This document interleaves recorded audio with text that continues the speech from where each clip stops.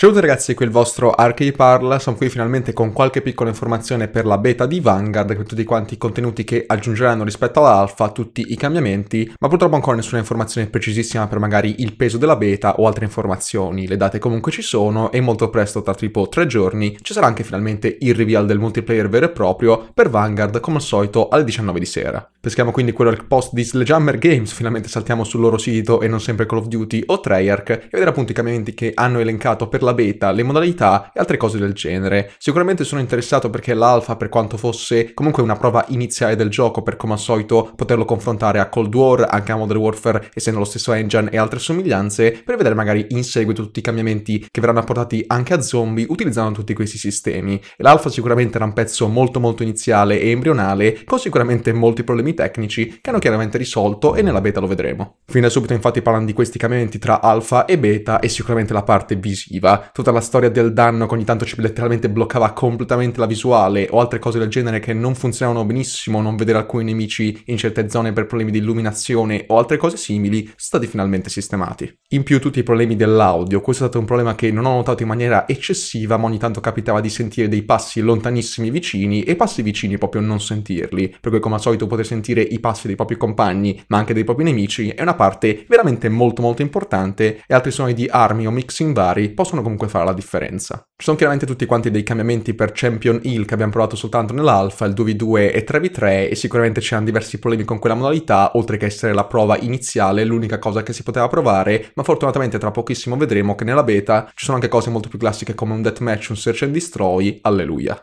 Proprio a riguardo ci confermano quelle che sono le mappe, quindi Champion Hill per Champion Hill stessa, Hotel Royale, Gavutu, Red Star e Eagle's Nest che arriva il secondo weekend, che sarà appunto quello di crossplay con PC e Xbox, mentre inizialmente è soltanto per PlayStation, prima closed, poi open, esclusiva per quella piattaforma. Oltre che Champion Hill già visto nella alfa, Vanguard avrà anche una modalità chiamata Patrol, ma tutte le cose anche classiche, quindi Team Deathmatch, uccisione confermata, dominio e Search and Destroy che arriva, se ricordo bene, il secondo weekend. Di questo ne sono estremamente contento perché c'era lo stesso problema anche dell'alfa di Modern Warfare, quindi nell'alfa avere soltanto un 2v2 o comunque non una modalità classica di Call of Duty multiplayer è chiaramente un problema, già stai comunque provando il gioco, le armi, l'engine, il movimento, il funzionamento di tutto quanto e in più sei comunque limitato a una modalità che a tantissime persone sicuramente non interessa nel gioco finale o non giocherebbero mai o pochissime volte, tutti vogliono un team deathmatch anche molto basic, che sia 3v3, 4v4, 6v6, qualcosa di veramente minimal per provare il gioco però come sarà anche nella versione finale, alla fine tutti quanti giocano comunque appunto uccisione confermata, dominio, search and destroy, queste modalità, difficilmente i 2v2. Fate anche qua l'elenco preciso, Champion Hill, solo, duo e trio, anche questo molto interessante per poter provare tutti quanti come si deve e non essere limitati a random, a giocare per forza da soli con qualcun altro, duo, trio, quello che si vuole. Team Deathmatch, dominio, uccisione confermata, questa modalità Patrol che arriva il sabato del primo weekend e Search and Destroy, cerca distruggi che arriva il secondo weekend. Per quanto riguarda le armi, su Champion Hill ci sono i soliti funzionamenti per le armi da poter comprare e potenziare con i soldi, mentre nel multiplayer classico abbiamo armi fino al livello 30 e tutti quanti i nostri loadout,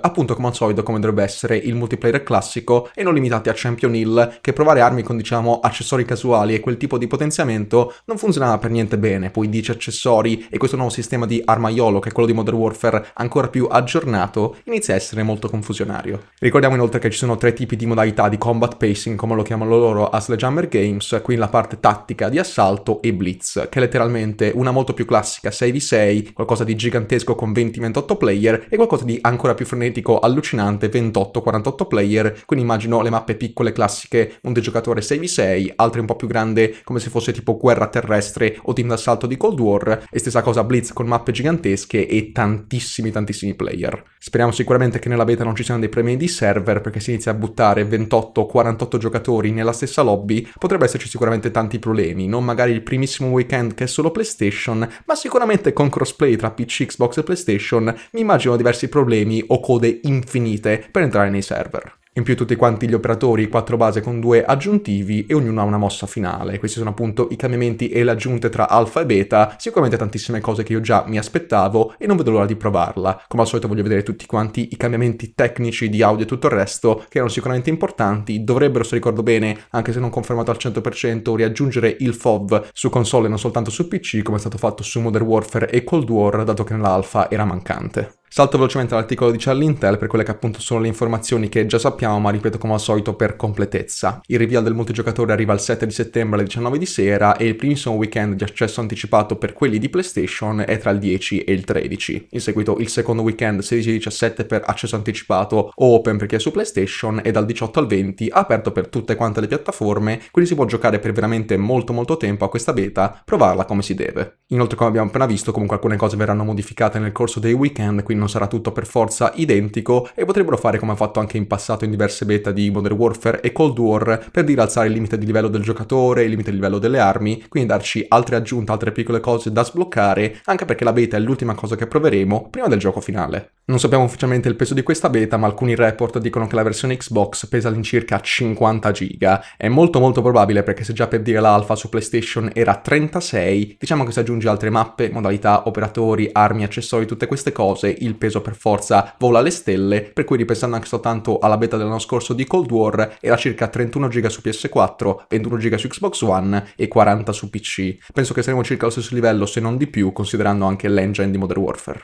Qui ragazzi queste sono tutte quante le informazioni ufficiali da parte del blog di Jammer Games per la beta di Vanguard e i cambiamenti rispetto all'alfa. Io come al solito non è che sia un player così gigantesco del multigiocatore, ma appassionato di zombie, quantomeno interessato a vedere i cambiamenti e provare tutto quanto perché se mi trovo bene sul multigiocatore, perché non giocarlo? Una partita ogni tanto non ha mai ucciso nessuno. Voglio sapere come al solito tutte quante le vostre opinioni, se siete contenti di questi cambiamenti tra alfa e beta, specialmente quelli tecnici, ma anche finalmente provare un multiplayer classico che sia un deathmatch, search and destroy, anche queste modalità gigantesche, quindi 28 28 player, 48 player roba del genere e cosa vi aspettate un pochino di vedere o di poter provare. Il video quindi si conclude qui, spero come sempre che vi sia piaciuto e vi sia stato utile, tutte quante le informazioni tra Jammer Games, Call of Duty e Charlie Intel sono qui sotto in descrizione, trovate anche tutti quanti i link per i miei social tra cui Instagram, Twitch e anche il canale Discord, ci vediamo come sempre a un prossimo video, un abbraccio, alla!